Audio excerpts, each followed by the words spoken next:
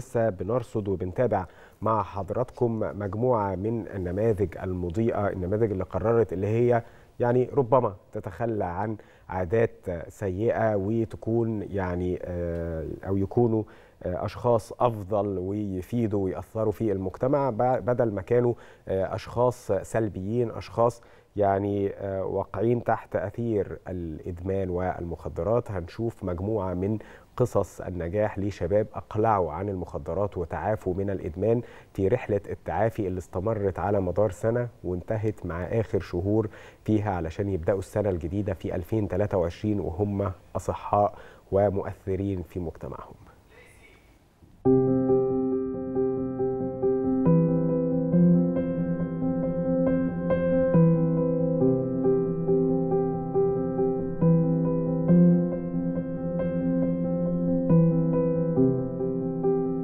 دخلت مرحلة الإدمان دي وأنا عندي 18 سنة. بطلت كتير. كان كل التبطيلات اللي بطلتها أبطل مثلا أربع شهور خمس شهور وأرجع تاني. النهاردة التبطيلة اللي أنا مبطلها النهاردة متعافي ليها شكل تاني. شكل تاني بمعنى إن أنا النهاردة واخد قرار. من اللي شفته في المأساة اللي أنا شفتها في حياتي. تعبت. دنيتي كلها خربت بسبب المخدرات. آه بس فقت متأخر اللي هو دلوقتي. فقت وبقالي سنة متعافي. آه ده طبعا بيرجع للفريق العلاجي اللي بطلني. آه الوعي الزايد اللي أنا اكتشفته في نفسي اللي أنا بعمل بيه. فجأة كده وفي يوم وليلة حسيت إن أنا فاشل وإن أنا ماليش أي لازمة. حياتي كلها بايظة. لا يعتمد عليا وده وده ما ما كانش مخليني مبسوط يعني. فقررت إن أنا أحاول أقف على رجلي تاني يمكن أعرف أقف على رجلي تاني. عرفت إن محدش هي هيسندني غير غير نفسي وربنا طبعا بعد ما طلبت منه المساعدة وصندوق مكافحة وعلاج الإدمان والتعاطي هو اللي وقف جنبي يعني بعد ربنا طبعا. أنا في لحظة دخولي المستشفى حسيت بالأمان أصلا. يعني أنا في لحظة دخولي المستشفى مع استقبال الأخصائي والدكتور والعلاج اللي بالمجان أنا حسيت ان ان إن في أجواء مساعدة من غير ما يكونوا عايزين مني حاجة. يعني هم مش عايز مني حاجة غير إن أنا أبقى كويس. فأكيد واحد بيعمل كده يبقى همه مصلحتي أو أو شايف مصلحتي أهم حاجة في الدنيا يعني.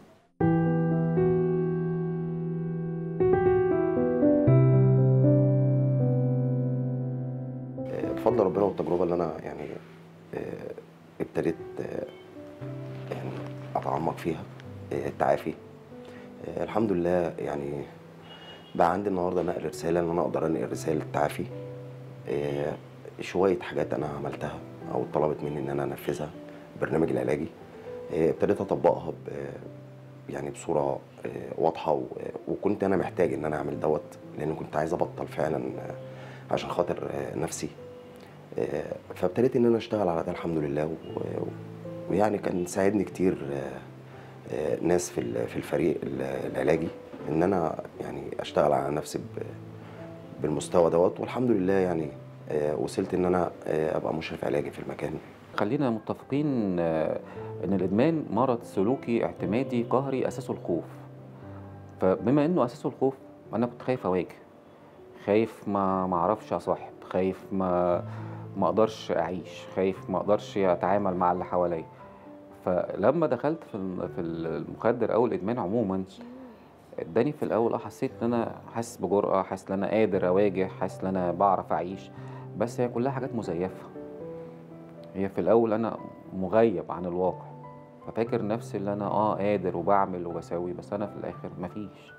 وادتني انحدار بعديها بفترة خدت انحدار طبعا جدا جدا يعني.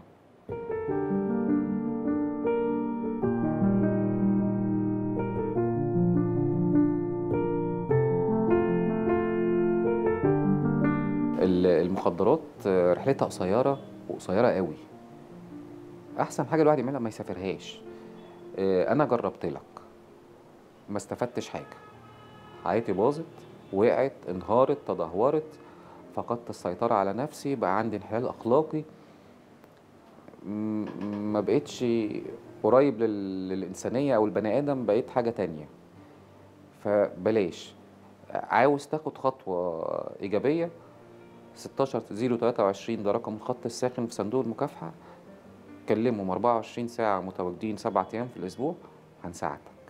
إحنا أول حاجة بنستقبل طبعا المريض. أول حاجة لازم نكون متقبلينه يعني آه، بكل المشاكل اللي عنده. آه، بنبدأ نفهمه طبيعه طبيعة مرضه وإن هو مريض نفسي ومحتاج المساعدة وإحنا بنحاول نقدم له المساعدة دي. وبنفهمه طريقة العلاج بتاعته بتبقى ماشية إزاي بتبقى مرحلتين.